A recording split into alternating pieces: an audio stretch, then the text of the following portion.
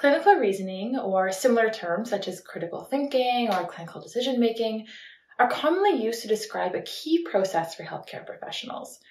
Specifically, clinical reasoning is the cognitive process of taking a patient's or a client's history and then evaluating their current condition, and finally integrating that knowledge for assessment or treatment plans. An easy way to think of clinical reasoning is as problem solving in the clinical environment. Now that we have a basic understanding of what clinical reasoning is, why is it important for us as kinesiologists to, to understand and learn about this? Well, it's important to understand clinical reasoning because being competent in clinical problem solving is essential to being competent as a healthcare professional. Said another way, when a kinesiologist is competent in clinical reasoning, that means we are able to appropriately apply technical skills and clinical knowledge in practice. In fact, the College of Kinesiologists of Ontario practice standards explicitly state that clinical reasoning is an essential competency for kinesiologists. Practice Standard 3.5 in the 2014 Essential Competencies of Practice for Kinesiologists in Ontario speaks to clinical reasoning most directly.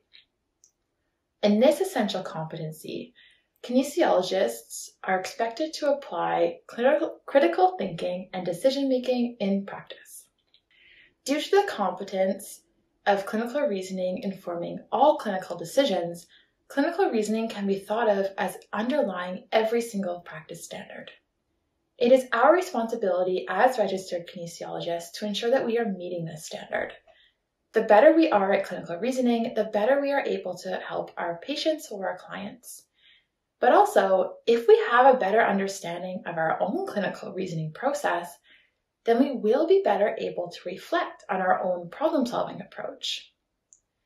What we learn from self reflection can, can inform our work with future patients or clients.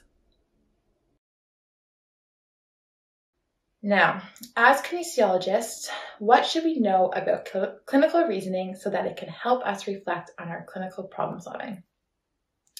Well, one of the most important concepts to understand about clinical reasoning is that it is not a single straightforward process that is easy to develop. Instead, healthcare professionals have spent years integrating a wide variety of basic science knowledge and then taken that knowledge and specifically organized it to understand what is happening clinically. Finally, the social and physical practice environment or the context that you are working in can have a huge influence on your clinical reasoning. For example, the equipment available to you or the expectations of colleagues can influence your clinical problem solving choices. I want to spend a bit of time highlighting the different cognitive processes that a kinesiologist uses in more detail, because this is the component of clinical reasoning that can change dramatically within the first five years or so of working within a certain field. Which cognitive process we use can help us identify where we are in our own journey of novice to expert within that field of practice.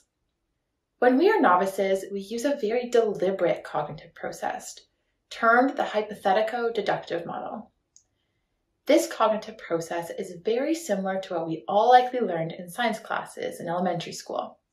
First, you form a hypothesis, then you collect information to either support or refute the hypothesis.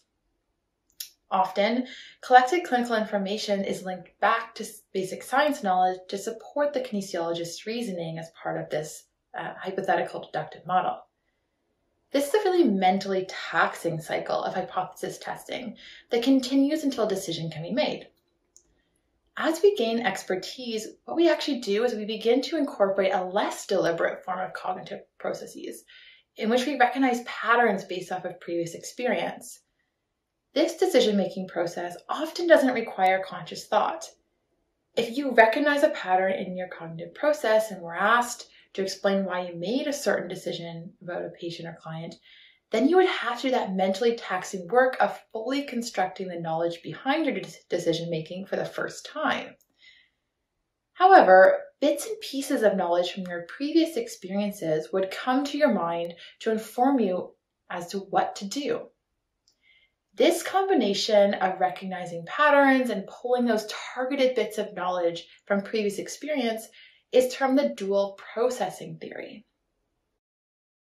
So now that we know about the hypothetical deductive model and the dual processing theory, how does this information about clinical reasoning help us?